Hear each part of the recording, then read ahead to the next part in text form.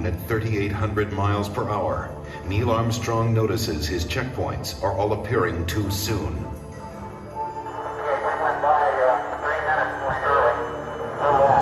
This means a serious navigation error.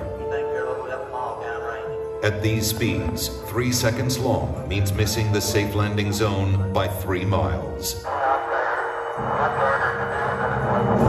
Feet, Armstrong ignores his computer navigation and veers away from the rocky landing site with no time to explain to Mission Control. Okay, I'll flight controller, everything's good. In Mission Control, everybody is stunned. At 300 feet, the Eagle has left its flight plan and taken off at full speed across the face of the moon. Eagle Houston is descent to fuel, monitor over. 90 seconds of fuel remaining. Now less than 200 feet, and the Eagle is too low to safely abort back into orbit. They call this part of the flight plan Dead Man's Curve. Down to two men and one minute. Forward. Forward. 20 feet down, two and a half.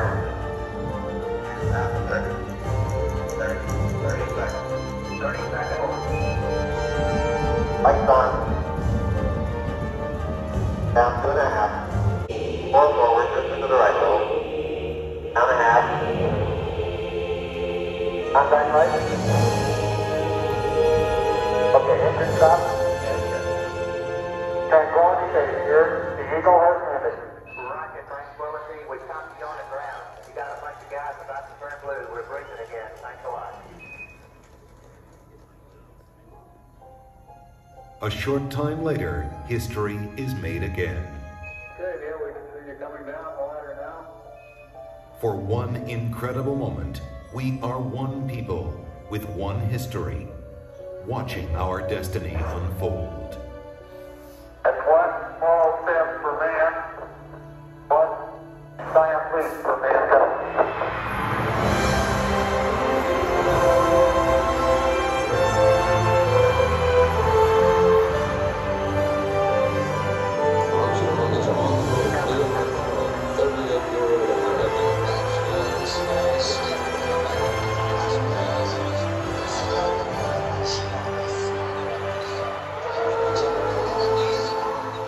It was a moment shared by an entire world. Here, man, from the planet Earth, first step foot upon the moon, became in peace for all mankind. With these first steps, mankind stood on the highest ground, and we saw our planet as our home port in the endless ocean of space. There was something which was surprising to me. That occurred as I was standing on the surface. Just after we had landed, I'd gone down, standing on the surface and looking at planet Earth for the first time.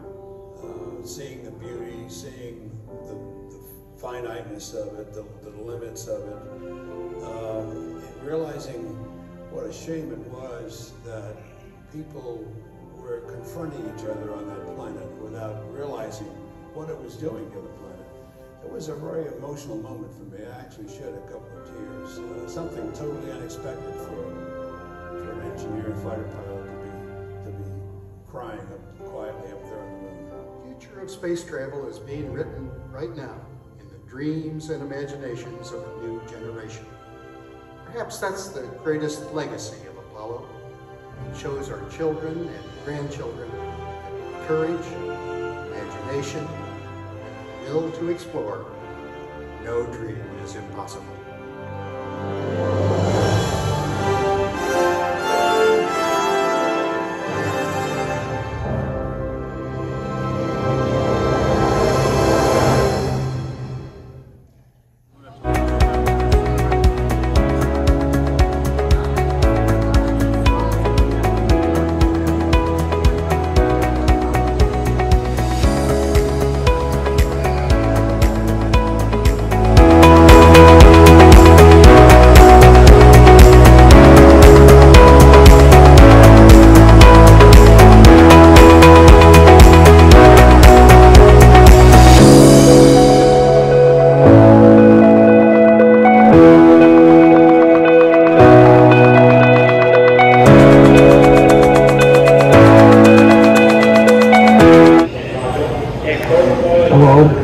I'm astronaut Charlie. You never worried about getting lost on the moon because when you drove your car, you left your tracks. If you, if you walked, you left your tracks. So you just had to do a U-turn and follow your tracks back to get back to the lunar module. The surface was actually pulverized rock, but it was very, very fine like powder.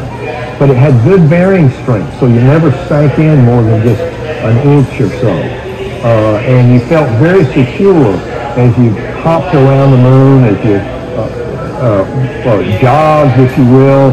Uh, there was sort of three ways that I got used to. If, you, if the surface was flat, you just sort of throw your feet out like this and stiff-legged, like Frankenstein running, if you will. Uh, the other, going up the hill, it was more like a bunny hop uh, going down the hill, it was more a step down. But everybody had their own techniques of how they walked and ran and stuff on the moon.